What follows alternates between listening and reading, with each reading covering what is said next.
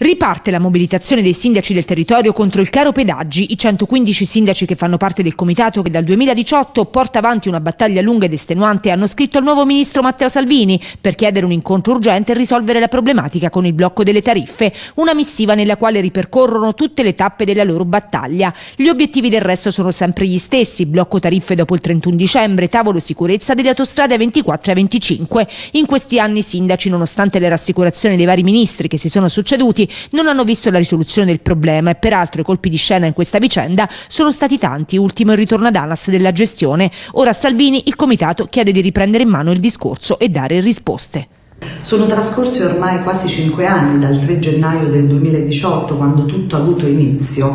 Tanti eh, risultati sono stati ottenuti. Il costo dei pedaggi è bloccato al 31 dicembre 2017. In tema di sicurezza grandi passi avanti sono stati fatti, ma non è ancora sufficiente. E negli ultimi mesi abbiamo assistito al passaggio della gestione da strada dei parchi ad ANAS, quindi riteniamo che effettivamente esistano i presupposti per consentire una importante riduzione del costo dei pedaggi e soprattutto per garantire la gratuità dei pedaggi ai cittadini residenti nelle regioni di Lazio e Abruzzo, pendolari per motivi di studio, di salute e di lavoro.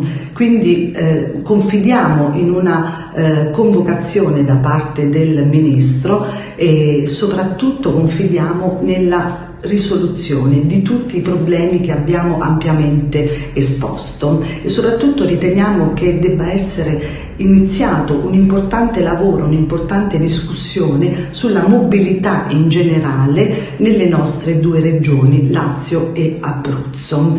Quindi attendiamo fiduciosi la convocazione. In caso contrario siamo comunque pronti a tornare a far sentire la nostra voce e a tornare a manifestare.